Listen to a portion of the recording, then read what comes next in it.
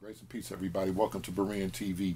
I want to answer a couple of comments that um, came in concerning the black church um, and the black church failing the community. I want to I want to speak a little bit to that because there's so much of the same stuff coming in. I figure I'll I'll just try to do a, a, a public reply to it.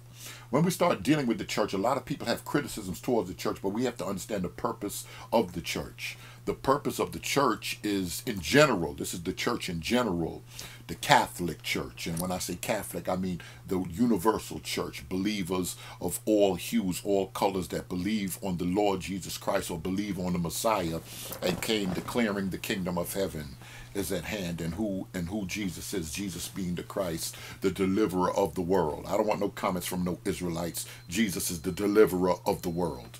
Now, when we start dealing with that, that is the purpose of the church, and the church has been doing that. But historically, in the African American church, because we've been going through certain things in this country with segregation, with racism, coming out of slavery, antebellum, and all of that, there was a, a, a unique role that the black church played. Even when we came out, the black church was the black Christians were treated different by white Christians. So in part, a lot of what we're going through um, in the church today, we can blame on some European evangelicals. They may not like that, but this is just how it is. I remember Dr. Mason saying something at Thrive. He said, suppose the white Christians, the real white Christians would have would have got to the slave, the southern blocks with the slaves and would have turned their backs and said, that's not right what y'all are doing, selling other human beings. What would the what would the history of this country be like if white evangelicals would have stood up? If white evangelicals would even stand up when they see when they see black men being gunned down in the streets unarmed. Every black man isn't running from a robbery, shooting out with cops. Unarmed black men have been disproportionately killed in this country, and white European evangelical Christians not even getting up to say anything. A lot of black preachers will will, will, will see a, a man gunned down, shot 15 times in the street, and he won't even change his sermon Sunday morning and address the issue.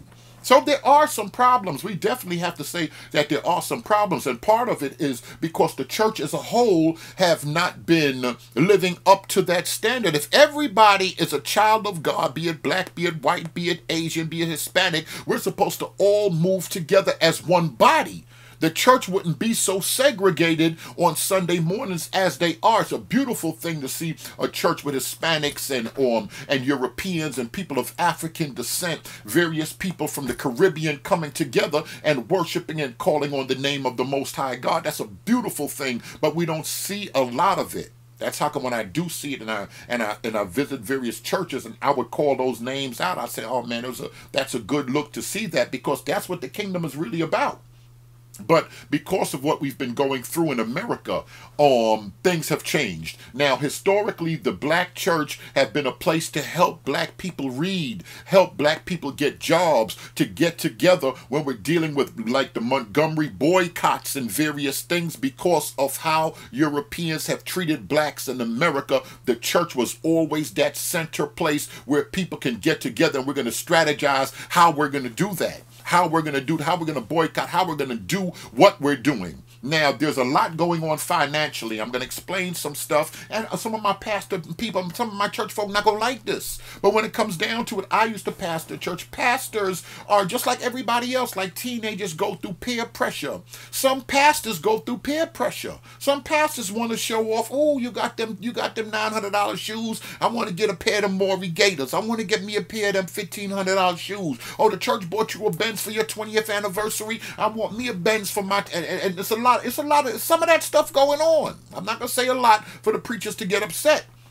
Because majority of pastors I know, they're not getting a 100000 they're not getting a hundred thousand a year, believe it or not. There's a lot of pastors out here that actually have other jobs outside of being a pastor because the church money's not enough to take care of them and their kids and you know with insurance and all of that going on vacation trying to trying to be a regular family man raise a family and pastor a church this is just keeping it 100 but there are pastors that have overspent money I know from my personal experience going and preaching and hooping and holler. You could go to some Pentecostal churches. I don't want my Pentecostals to feel that I'm banging on them. You could go to some Pentecostal churches and hoop and holler and walk out of there with $800 because you said a few scriptures and jumped and laid hands on a few people. But but but for the most part, a, lot of pastors aren't getting paid like that eight hundred dollars an hour for preaching a sermon or whatever. No matter a good sermon is going to take five to eight to ten hours to put together. Now some people's not going to like that I'm throwing money out there, but as far as the black church, the black church has more money than any other single organization. So we need to address how come the black church aren't doing a lot of things. The black church are doing some things in that, um, like I was saying, pastors are under peer pressure. A lot of pastors are under peer pressure.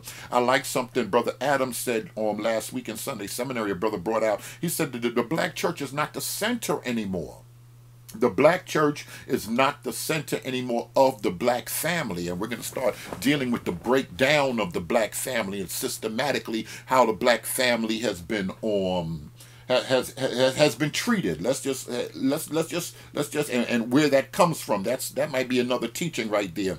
But when we start dealing with that we gotta we gotta we gotta look at a whole bunch of things. We have to look at a whole bunch of things. There are a lot of pastors and what they do they know to preach jesus. And that is the great commission that's what the Bible is really all about. But we are in a unique place, the black church in America, because of our condition. So the black church have always um, gone beyond just preaching the gospel. Where a lot of Europeans, they can just come to church. Their church service can be short. They can praise God, worship God, give a little bit of money, and everything is good because their structure, their home lives are different from many people in the African American community where they were systematically segregated and pushed out of certain things. And this is just this is just the reality of America. So the shaping of the black Christian church in America is a little bit different. Now, when it, when it comes to a lot of people talking about pastors, pastors, and that's what they do, teach and preach Jesus. A few pastors been to seminary. Other pastors have been trained under other good pastors, so they didn't really need seminary as much. And um, there are other pastors. You, I often teach you can't go beyond your pastor. If your pastor's not a reading, deep thinking person, and we have different pastors on different levels. That's just how it is. If your pastor's not a deep reading, thinking, cultural person, understanding certain things, he's just going to say this is the way the world is. But if he begins to understand history systematically, how things have been done to a specific people, he's going to add that into his sermon. And if the Lord tarries, let's say Jesus not coming back. Let's say Jesus not coming back for another hundred years I hear a lot of people say, oh, I've been since my grandmother, they've been saying the day of the Lord and the Lord is coming back. When you start dealing, if you understand the day of the Lord and a, a day is like a thousand years, Jesus just left the other day. So that, you know, so when people say that, they don't understand scripture and timing and things of that nature. And people's always been thrown off with that. But if the pastor don't understand and research certain things, he can't bring it out and he's not going to preach on that thing. There's some people that are teachers, and we research. I, I, I research. I, I, look into things. So if I'm talking on the Council on Foreign Relation, the Committee of 300, and the Bilderberg, and different things like that, other pastors would say, well, I know in the last days the Bible says men will be inventors of evil things. I know Psalms 2 said that it is some type of conspiracy against the Lord and his Christ. So when we start looking at um Sanger and we look start looking at Planned Parenthood and we start looking at Darwin and the doctrine of evolution being taught and various things and and really it has to do with racism that one ethnic group is above a different ethnic group and I start looking at Helen Blavatsky and Hitler and Thule Society and how they're looking for the blue-eyed white ones that they call ascended masters and Old folk just call that devil worshippers and wickedness that's going on. But there's some people that research and get into the depth of those things. So as far as the black church and what the black church is doing, can the black church do more? Absolutely so. Now, this where the church folk to have a problem. Some some some churches can definitely do more by way of housing, by way of education a lot of times we have pastors and you know a denomination thing is not really good a lot of people caught up well i'm baptist i can't work with those COGIC people over there and even within their own denomination we basically all believe the same thing so don't let them Israelites in the conscious community fool you. Oh, he Baptist and he Presbyterian and oh, they got whole different. No, no, no, we don't. No, we don't, liar. We don't have no different doctrines. Little small things, stuff that, that's irrelevant but we can work together. And and part of the problem is a lot of pastors say that when we start getting into that color thing, they don't. It's not either they don't really know any better, or they just want to focus on doing the kingdom mission that we're all one and the same. But we're not treated. We're all one and the same. But a lot of believers that are outside of the black church do not. No matter how you cut the cake, like I said, a lot of European good old Christians good old Christian Europeans or quote unquote Christians, they um they don't have a problem with the white image of Jesus. They don't understand police killing and and segregation. They don't understand driving whilst black. They don't understand these things. And if they don't have a heart from the Most High to understand it, I don't know what to say. So it's like the black church. We've been out here and we've been on our own. But far as us having the money and, and the ability to control, the ability to open up banks, when people in the conscious community, when other people that have a problem against the church make certain statements, a lot of pastors feel you don't even have to listen to them. But I'm asking the pastors and the ministers when they have valid arguments when someone that is not a believer have a valid argument can you even take heed to it I'm, I'm, I'm, like I said, I've often seen in multiple videos, I'm so surprised how the black church is holding, how y'all are holding on so strong to the Christmas tree and to the Easter egg. Can we clean up the paganism in the church? That's another thing. If we know people are walking away, if we know people are going to the Hebrew Israelites in the conscious community and just walking away from the church, can we try to clean up the paganism? As people would say from the time of Constantine on? Can we admit Jesus wasn't born on the 25th and even open up the floor in church for discussion? You'll be surprised how that'll help you out. Pastors, you'll be surprised how that'll help y'all out. I just wanted to drop this short video. Black Church, we need to do more.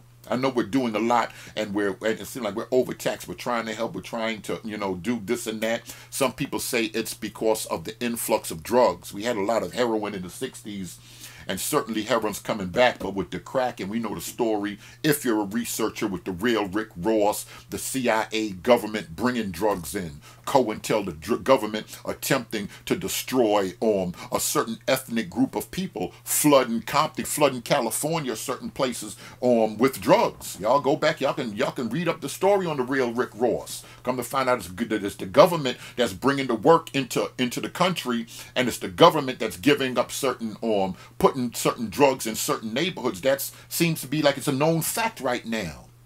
And we could go back to even the Clinton, the, the, the, documentary with the Clintons and how the, how people that were associated loosely with them were involved in Arkansas and bringing drugs in from South America and stuff like that. It's a whole bunch when we start dealing with mind control and MK Ultra, all of this stuff. A lot of people say, well, what does this have to do with the Bible? We can't be ignorant of the devil's devices. This is what the writ tells us. So there's certain people that's researching and bringing this information out, and it's real. Plain and simple, it's real. Could the black church do more? Absolutely, we can do more. Pastors, y'all need to step it up.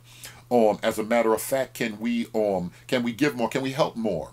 One pastor said um back in the days, a good educated dude too, PhD educated, educated brother. He said the church is not a bank. Well, that's that's so crazy because um and he's right and let me say that first of all, he's right. The church is not a bank. But if grandma been going to church for 30 years and grandma need her lights turned on, the church needs to take care of that. Everything is not inside the Bible. That's how come there's a wisdom and a mind that the Creator gave us. A lot of people say, well, if I don't see it in the Bible, I'm not going to practice it. If you know a bunch of young guys um, are hanging out in the streets and they start getting in trouble, why can't you open up the church doors and have after school program for free for the single mothers? For low income families. We could do something for free. We could do something for free in the church. Like we want to charge for everything. From chicken to fish to bus rides, that we doing everything. But there's other things that we can do if we see a need. You don't have to see directly within the Bible, oh, that, that lady right there, she had a fire. She can use some new furniture. She can use some men in the church to go over here, over there and help her remodel that thing. Oh, that's not the church's job. If there's a need, that's the church's job especially among our own in our own community.